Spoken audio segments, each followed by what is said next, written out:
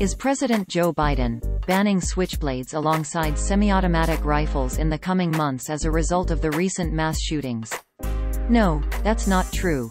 The tweet making the claim is fake and was never posted by the account shown. The claim appeared in an Instagram post on June 13, 2022.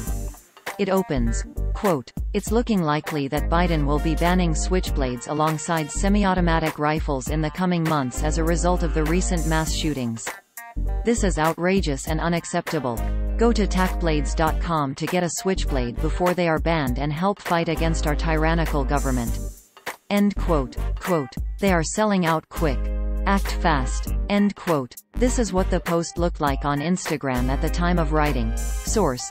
Instagram screenshot taken on Tuesday, June 14, 15 hours 12 minutes and 44 seconds 2022 UTC. If posted with the exact wording as shared on Instagram, it would be 70 plus characters over the tweet limit, per Twitter.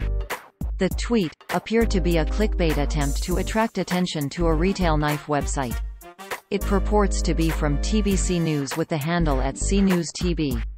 That account is a parody account, as seen in the screenshot below, and never posted that tweet.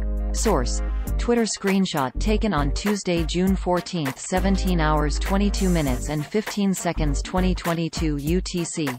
A search of C News CNewsTB Switchblade on Twitter turns up zero results. Source. Twitter screenshot taken on Tuesday, June 14, 17 hours 27 minutes and 33 seconds 2022 UTC.